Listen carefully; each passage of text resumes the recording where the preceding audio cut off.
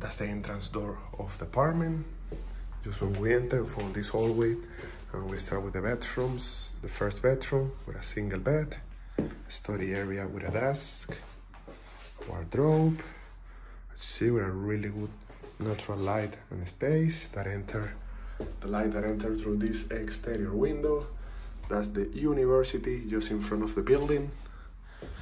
We continue walking to the second bedroom, single bed two.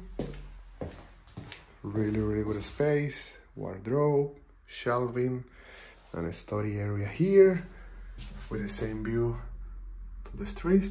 The street. Continue walking. First bedroom, the number three, with a double bed, entire wardrobe, study area with a desk. All bedroom has exterior window. The bedroom number four with a single bed. The desk next to the exterior window. Common bathroom here in the end of the hallway.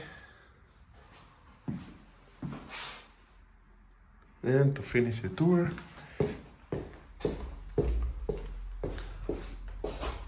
just in front of the entrance, the kitchen area of the apartment, through the stove, microwave, this dining table, and the fridge, and laundry area.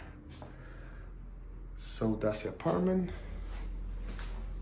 Totally keep it in a really good location of Madrid City, too close to Juan Carlos University, and ready for booking.